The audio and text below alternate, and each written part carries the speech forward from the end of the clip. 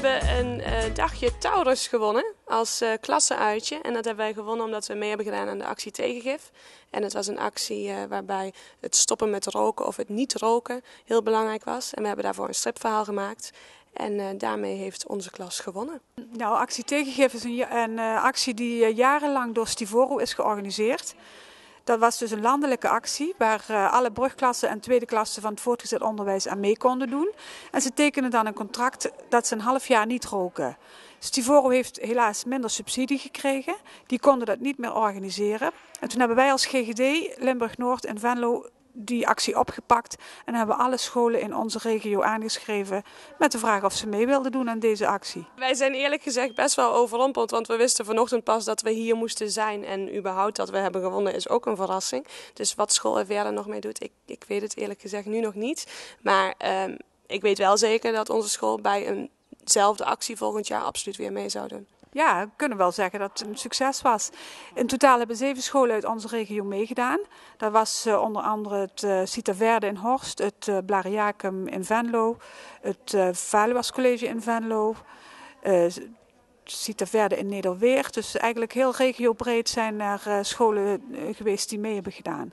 Ja. En uh, nu is de eerste prijs hier in uh, Gennep gevallen op ons eigen Elsendaal College. Hè? En uh, ik uh, ja, kan me zo voorstellen dat u daar toch wel trots op bent. Ja, natuurlijk. Ik ben heel blij dat het Elsendaal College gewonnen heeft. Is overigens niet de eerste keer. Ze hebben een aantal jaren geleden ook al een keer gewonnen.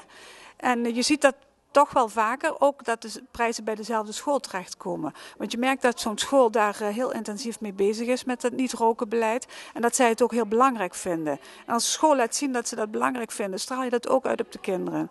Ja, dus ben eigenlijk heel trots dat het Elsendaal het zo heeft aangepakt. of het zo blijft, je weet het nooit. Ik denk wel dat uh, voor de leerlingen dat het wel goed is geweest dat we er in ieder geval mee bezig zijn geweest, dat we het over hebben gehad, dat we elkaar erop aan hebben gesproken als iemand toch rookte. En uh, het was zelfs zo dat uh, mijn leerlingen elkaar in de gaten hielden daarbij. Dus wat dat betreft is het wel uh, in ieder geval een heel, heel groot stuk in de bewustwording van het roken of niet roken. Ik kan misschien even toelichten dat we dit volgend jaar weer willen gaan doen.